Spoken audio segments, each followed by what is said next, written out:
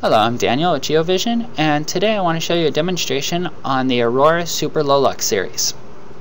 This first scene will be a low light scene. As you can see, the kid's playing with the basketball here, and the regular camera, you've got lots of ghosting. The low light camera, a little bit brighter, but still lots of ghosting. Both are black and white. Our Aurora Super Low Lux series in the bottom left has full color, no ghosting, and great detail.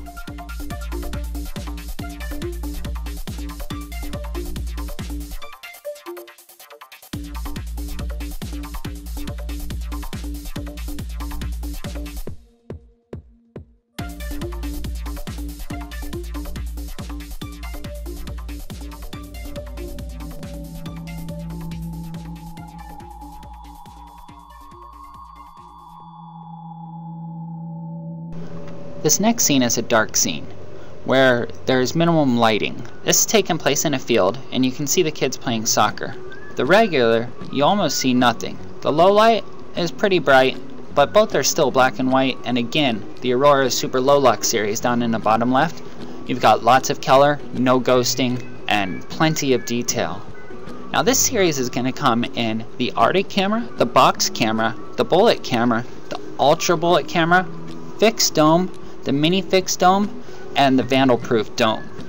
This is going to be a 1 and 2 megapixel series.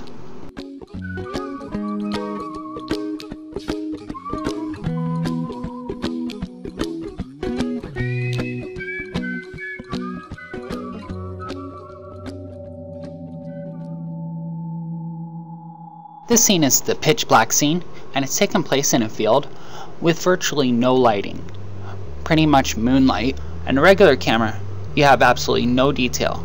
The low light camera, you can kind of see one of the kids walking back and forth in the brighter clothes, but the one dark, wearing the darker clothes, you can't even see at all.